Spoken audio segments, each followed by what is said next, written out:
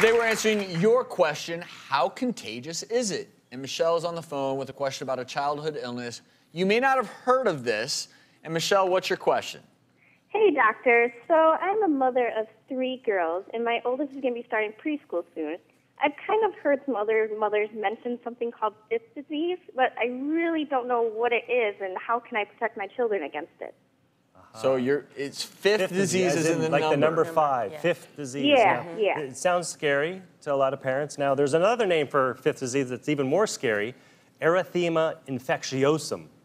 Ooh, um, but you know, as a pediatrician, I see this all the time, and it actually is not a big deal. It's caused by a virus called parvo B- B19. For the first few days, you catch this, and you might have just a little flu-like illness. You know, a little sore throat, runny nose, cough, no big deal. And then a couple days later, you're going to get the rash, which starts off looking like slapped cheeks. Okay. Oh, like that.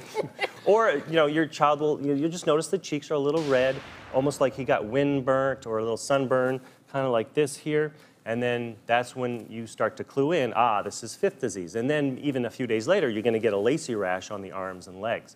Now, as soon as the rash starts, you're not contagious anymore. So, so it's usually not a big deal. There's nothing you really do about it. There's no treatment other than keeping them comfortable when they have the uh, initial symptoms. And, Okay. um, but once you, we know that it's slap cheek, we're like, okay, you're not contagious anymore. Go back to school. And treatment for this is similar to a lot of other viral mm-hmm. illnesses, right?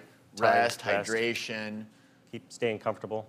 And it's the same for pregnant women. Exactly. Mm-hmm. Sometimes I'll get a panic letter from the school because mm-hmm. one of the school officials thinks it's a big deal for pregnant women, but it really isn't.